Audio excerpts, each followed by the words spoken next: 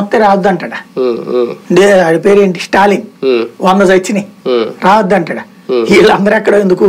ఇప్పుడు అమిత్ షా దగ్గర కార్యకలాపాలన్నీ చక్క పెడుతున్నది. వాళ్ళ ఆఫీసులో లోకేష్ సంబంధించిన ఈ కథ అంతా నడిపించింది సుజనా చౌదరి. ఆయన మీద ఉన్నది ఏంటిది? లేకపోతే గనక వీళ్ళ దగ్గర ఉన్నటువంటి నాయకులందరికీ ఉన్న కేసులు ఏంటి? రఘురామకృష్ణరాజుకు ఉన్నది ఏంటి. కాబట్టి అభియోగాలే. అంటే రాజకీయంగా వచ్చినప్పుడు పట్టించుకుంటారేమో? పొత్తులు పెట్టుకోవాల్సి వచ్చినప్పుడు. అట్లాగైతే కనుక కూడా. పెట్టుకోకూడదుగా. ఎవరు? జేడిఎస్ కుమారస్వామి. వాళ్ళ మీద ఇయ్యే కదా కేసులు. మరి వాళ్ళతో పెట్టుకున్నారు కదా.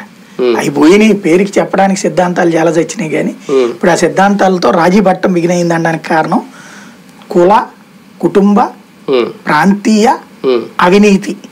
ఈ నాలుగు లక్షణాలు ఉన్న పార్టీలకు దూరం. అందుకే కేసీఆర్ అందుకే చంద్రబాబు అందుకే జగన్మోహన్ రెడ్డి అందుకే జేడిఎస్ అందుకే అకాలీదళ్ అని చెప్పారు. ఇందులో ఒకళ్ళతో ఇప్పుడు ఎట్టేసుకున్నారు మొత్తం.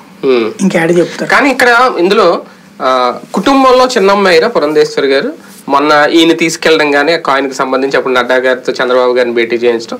ఇప్పుడు నారా లోకేష్ గారు ఇన్ని రోజులు ప్రయత్నం చేసిన ఇప్పుడు ఇక్కడ మాత్రం పెద్దమ్మ పాత్రే పోషించారు. ఒక బలమైన ఇన్ఫ్లుయెన్స్ ఉపయోగిస్తున్నారా పురంధేశ్వరి? లేదంటే ఆమె ఫేస్ అలా కలిసి వస్తుంది? ఆవిడ ఇంటికి పెద్దమ్మ.